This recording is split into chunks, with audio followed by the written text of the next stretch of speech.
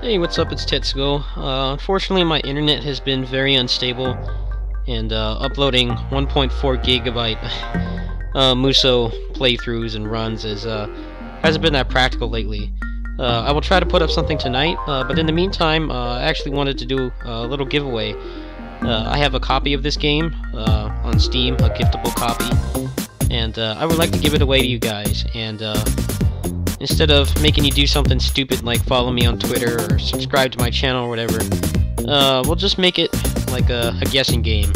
Uh, this game uh, recently added a patch uh, which shows you how many times you've died, and uh, I figured you guys could uh, guess. Whoever gets the closest to my total death count, I will give them the prize.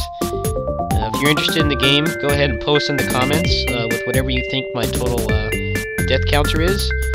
And uh, I don't know, maybe in a day or two, um, I'll look at the entries and uh, see how fast, it, uh, see who's closest.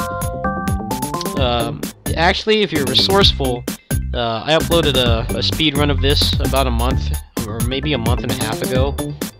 Um, I think I paused during that video, uh, so if you're resourceful, you can go find that and uh, at least get a, like a rough estimate of how many times I've died. Uh, to give you a hint, it is more than 2,500 deaths. It's more than 2,500 deaths and it's less than 4,000. So uh, just to give you guys a range.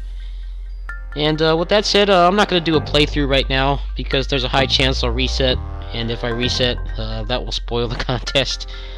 Uh, but yeah, go ahead and post in the comments um, with the uh, guess you have for my death count. And uh, I will get back to you guys tomorrow. Also have a, an Orochi 2 video uh, planned. Uh, hopefully I should be able to get that up sometime tonight. So uh, I will see you guys later. Uh, good luck, and uh, yeah, peace.